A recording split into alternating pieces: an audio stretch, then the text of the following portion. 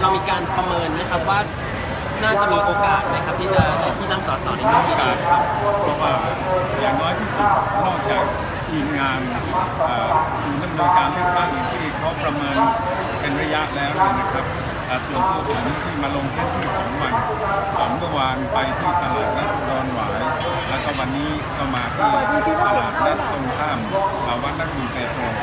แล้วก็จะไปหลายจุดนะครับ ก็พอจะประเมินได้เบื้องต้นว่า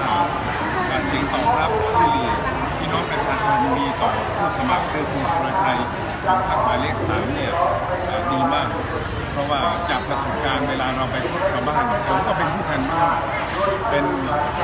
ผู้แทนราษฎรต่างจังหวัดหรือว่าผู้แทนราษฎรมาหลายสมัยเวลาไปพบประชาชนเนี่ยเราพอรู้ก่อนว่าประชาชนมีความรู้สึกอย่างไรแล้วก็มีกระแสตอบรับมากน้อยแค่ไหนอย่างไร